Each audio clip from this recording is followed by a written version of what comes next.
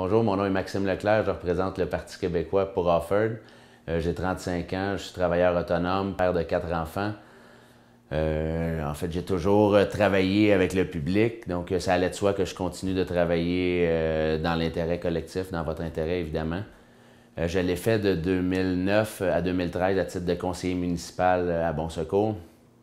Euh, j'ai aussi euh, travaillé euh, comme bénévole dans différents organismes, dont la Fête nationale, évidemment, pendant plusieurs années. J'ai d'ailleurs fièrement construit le Feu de la Saint-Jean cette année.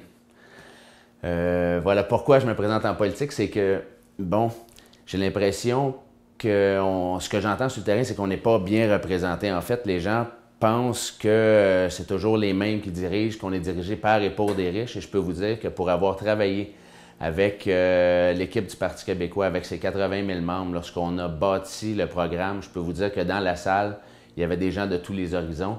Et puis c'est un programme qui était bâti par et pour le peuple.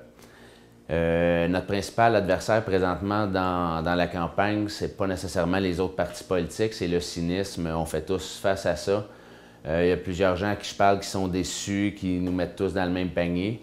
Et c'est la raison pour laquelle je veux euh, venir présenter le programme du Parti québécois, parce qu'on a des mesures globales, des mesures structurantes qui s'adressent à l'ensemble de la population, et pas seulement qu'à certains, mais bien à l'ensemble de la population. Euh, on me demande des fois, bon, qu'est-ce que tu veux faire pour Offord précisément? Bien, pour Offord précisément, je vais vous dire ça drôlement, je veux vous offrir un gouvernement du Parti québécois, un gouvernement qui prend soin de son monde, qui laisse personne derrière. Euh, une des mesures que je veux pour Offord puis pour l'ensemble du Québec.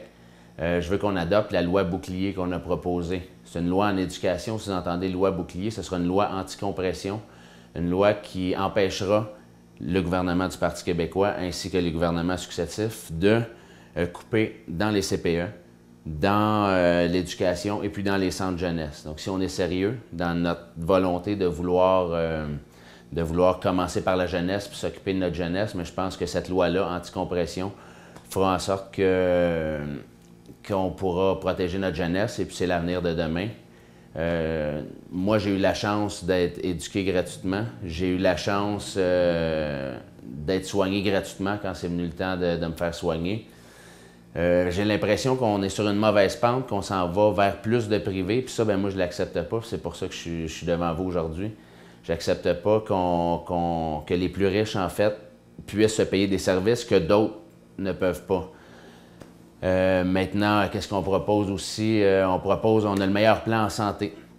En santé, euh, ce qu'on propose, c'est de décloisonner les professions. Si vous entendez décloisonner les professions, ce que ça veut dire en clair, c'est que présentement, il y a un goulot d'étranglement. Il y a juste 24 heures dans une journée et puis tout tous les actes médicaux doivent passer nécessairement par le médecin. Quand on sait très bien qu'une infirmière praticienne pourrait détecter euh, facilement une otite, euh, par exemple un bras cassé, et puis la référer directement, par exemple, si c'est dans le cas d'une otite, référer directement au pharmacien.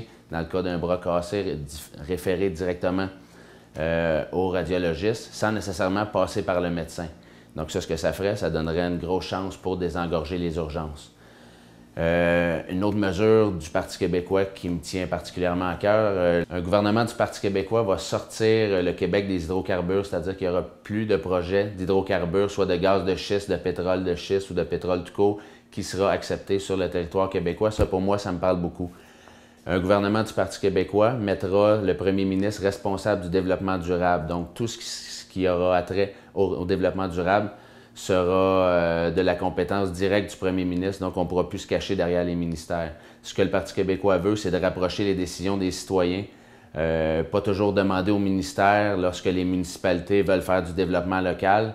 Ça, pour moi, de par mon expérience de conseiller municipal, ça me parle beaucoup parce que assez souvent, dans les petites municipalités, on est bloqué au niveau du développement parce qu'il y a une lourdeur bureaucratique qu'on veut enlever, donner plus de pouvoir aux régions. Euh, maintenant, je vais terminer avec ceci. Euh, l'élection présente, c'est une élection historique.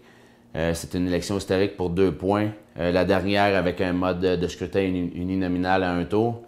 Et aussi que les, les, jeunes forment 30% de la population votante. Donc, je fais un appel aux jeunes de sortir voter. Votre vote compte.